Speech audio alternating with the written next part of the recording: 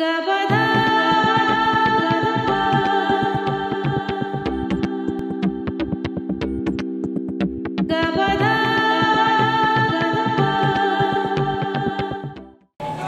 んにちは。サンロードの花園です。えー皆さんはお野菜いっぱい食べられてますか？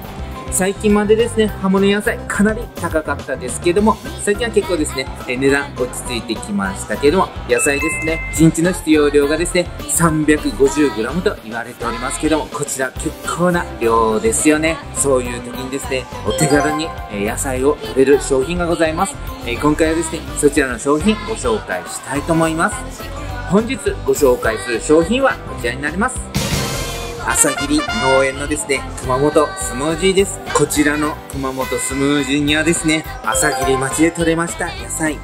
ほうれん草にごぼう。え人参に小松菜。あとえビーツにかぼちゃに紫芋。えこちらの7種類の野菜が入っております。その7つの野菜にですねアサイーとえバナナとパッションフルーツも入っております。こちらの熊本スムージーは粉状になっておりますので、え水や牛乳に溶かしていただくだけで簡単にスムージーが作れます。こちらの商品でだいたい15から22回分あるんですけれども、えまずはですねちょっと試してみたいなというお客様にはですねこちらの4回分が入りました。トライアルパックもご準備いたしております。また熊本スムージーですけれどもこちらのタイプの他にですねこちらのマイルドタイプやレッドタイプもご準備いたしております。えそれぞれのですねえトライアルパックご準備いたしておりますのでえまずはこちらのトライアルパックからお試しいただきましてもしお気に入りの商品がございましたらこちらのお得用サイズをご購入いただければと思います。また朝霧農園さんが出してます商品にはですね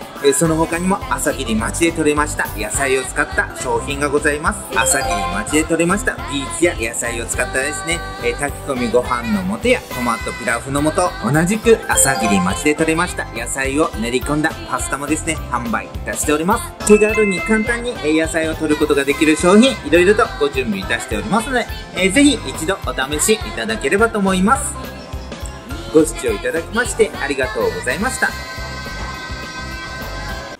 よろしければグッドボタンあとチャンネル登録お願いいたします。えまたこちらとこちらの動画もですねよろしければご覧いただければと思います。コメントやですね LINE アットマークでのコメントもえお待ちいたしております。それではだんだんなー